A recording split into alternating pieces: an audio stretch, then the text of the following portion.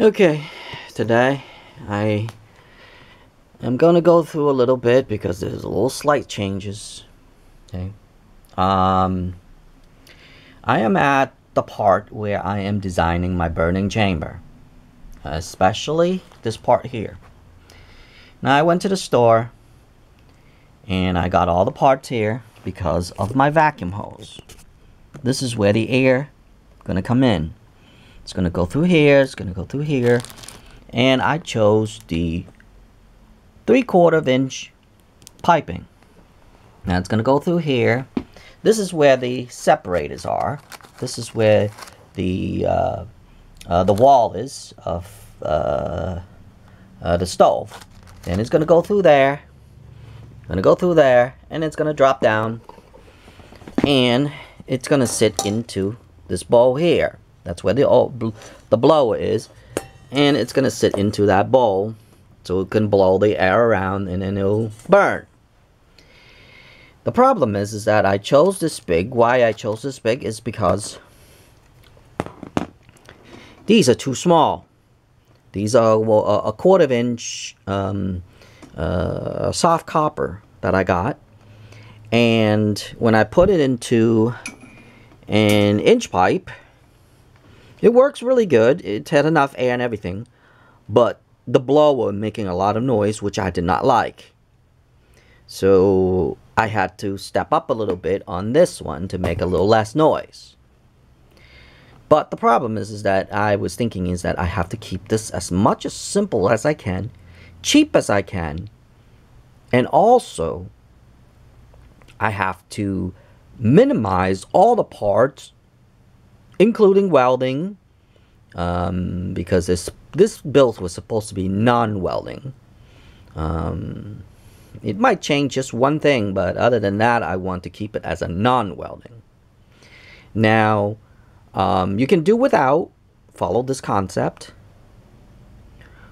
Um, and do the uh, three three fourth of an inch pipe. It's close to this right here, close to my lighter right here versus that. Uh, why did I choose that? Is because the quarter, uh, the the three four, uh, three eighths, I believe. Uh, this is one fourth. Um, five sixteen, I think. Um, I'm not sure. One step up further. That's all.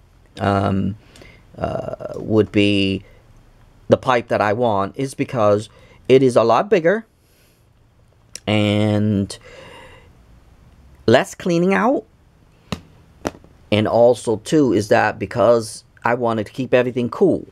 Now imagine, let's go back to this again. Imagine if the pipe comes through here, goes run through here, and then it bend down to here and go into my chamber. What happened is the flame would go upward here and it will keep this pipe hot as always. So this pipe will be hot all the way to here, then it'll start to cool down and might have to put like a little deflector or whatever there, which is fine. But I don't want to go through that process because it's now I'm making this costly. And that's what I'm, I'm trying to eliminate. So, I am going to go back to the new, simple, old, easy way. I'm going to go through from there. This is my new drawing. For the five gallon bucket. Going to go down to the solenoid as as always. Then I'm going to use the um, uh, the needle valve. It's going to go into my drip and it's just going to go all the way straight in. But this time it's going to go sideways and I'm going to drill a bunch of little holes, tiny holes in it. So that way it will drip nicely in a round uh, thing here. So I'm going to make it gravity and then make it round so it's going to kind of like go down a little bit onto the, the burning chamber here. So imagine if it starts up here, around here, and it's going to go down like that, and it's going to leak down to there. So it's, it's going to sit in the center like this right here, which I'm going to make a little thing where it's going to sit nicely in there so I don't have to play with it. Um, but just like a half a loop, not the full loop, because full loop I won't be able to loop it through. But if I just do half a loop, um, that way, I'm going to have to drill a hole through here. The reason why I drilled the hole through here is because I want to keep the heat minimized. You have to remember, the flame's going to come up here. It's going to heat this copper pipe up. This copper pipe up is going to go all the way through my stuff here, which I don't want. Because I'm keeping this as minimal as I can. Not that I want to save money. I'm going to, I might just loop a little bit. But because I am using, uh, I believe, the 3 eighths. Um, this is the 1 4th for the, um, this is a full, this is the, the, the drip valve that I'm using. Okay. That's my drip valve. Uh, this is for the uh, air, oil and, and water separator. Um, this I got this from Harbor Freight for $5.99. Um, I got a few other stuff. It just costs again, costly again, and I'm trying to minimize this so in case somebody wants to do this, they can follow the same step. Um, so what I did was I'm going to use I'm going to use cheap parts. Uh, the only part that you can't be cheap on is the copper. Um, I'm going to use the pneumatic um, uh, air hose. Uh, all the connector will be all air connectors, which I'm going to get at Harbor Freight, which is like a dollar twenty for like connectors like these versus at Home Depot they're like uh, three dollars something. So you can cut like a third of that price or even a quarter of that price if you go with the with the um, uh, air compressor connectors, uh, which that's what I'm going to end up doing. And I'm going to step that from the air compressor to the uh, for the copper pipe right, right here and just go right through here. From here, that's the only thing that I have to get a part on that I might not be able to save any money is from here to go through here and go to the chamber. But I believe that's the cheapest way. And also, too, is I have to dig a hole through my stainless steel thing here.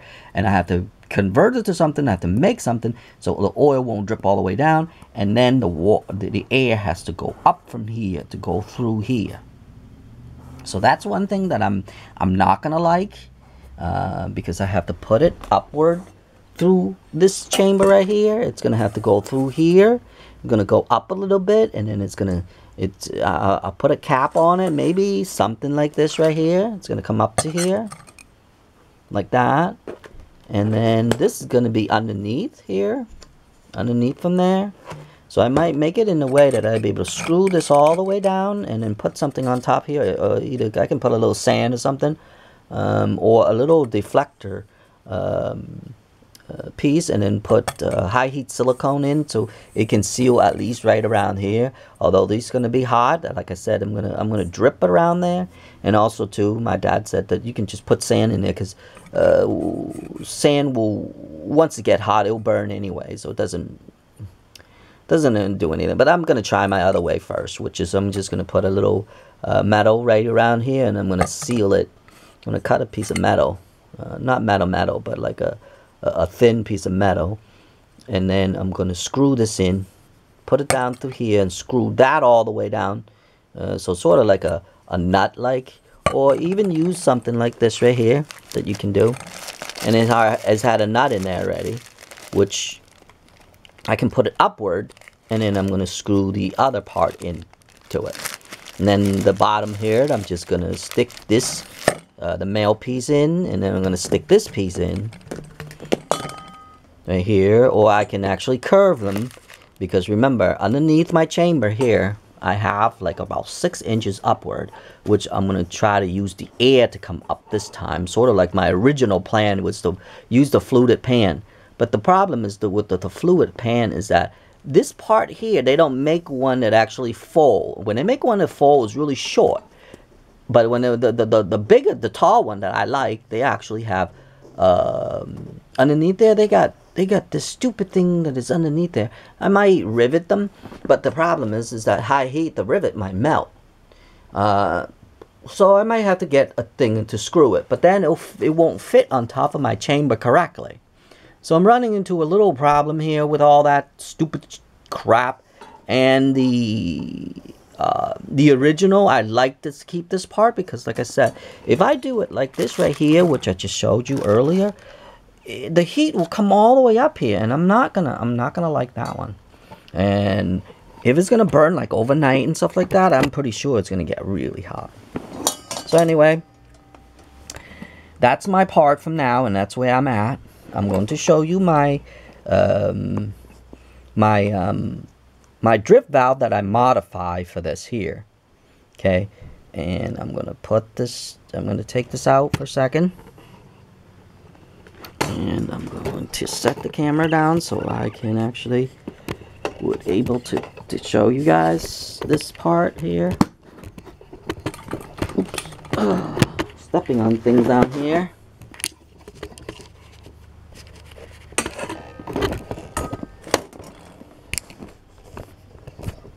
Okay, I hope you can see from there. Actually, move it to here.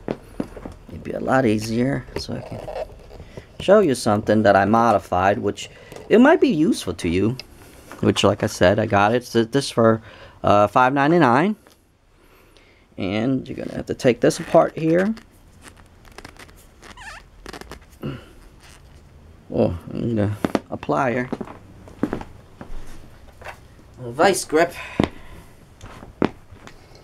Need to take this apart. Yeah. Oh, shoot.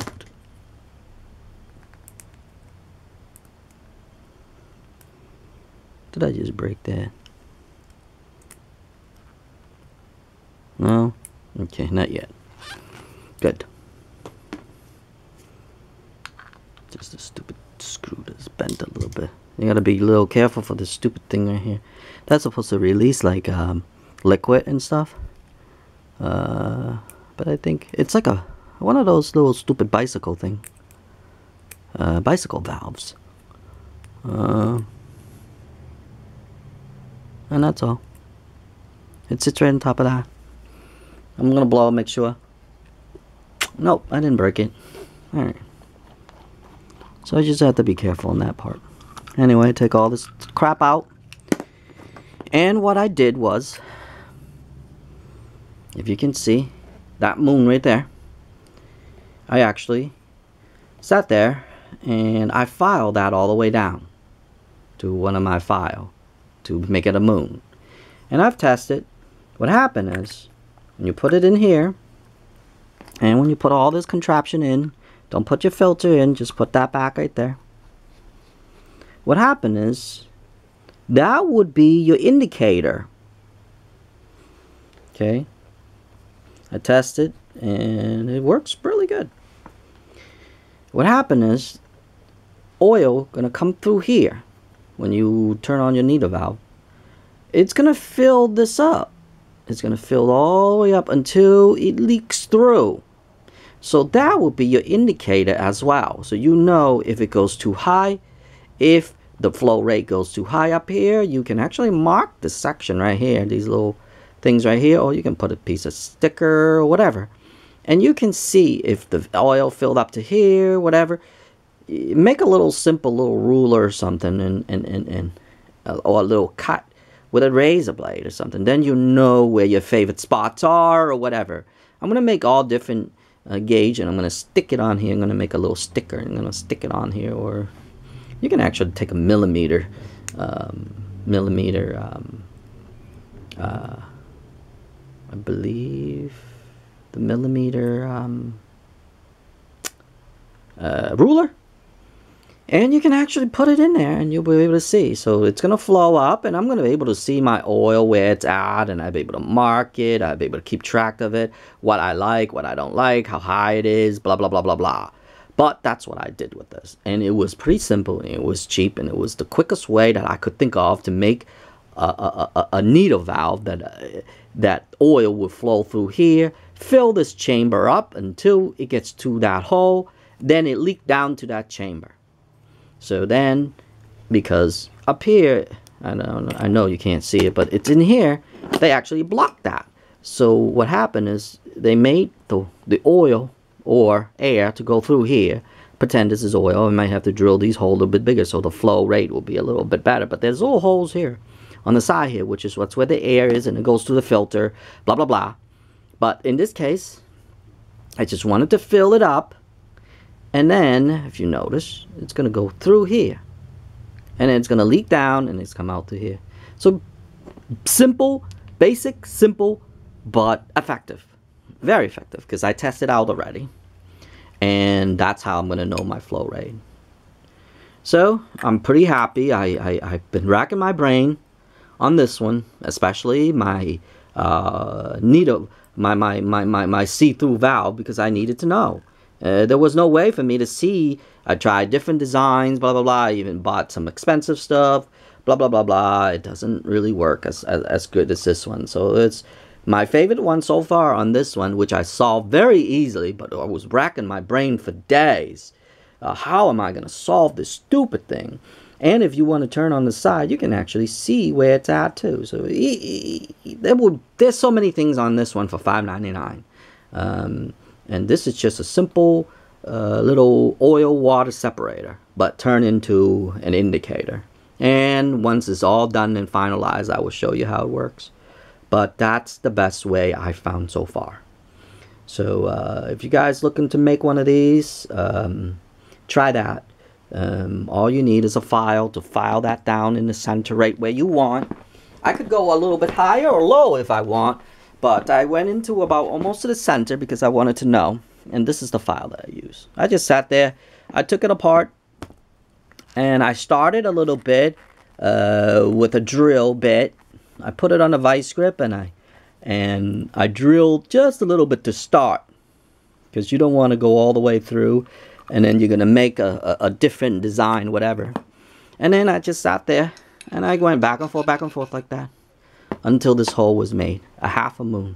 You can go bigger if you want to but remember we want to limit the amount of flow to go overflow into that valve right there. Okay that's it on this video. Um, I will see you in the next once I finalize everything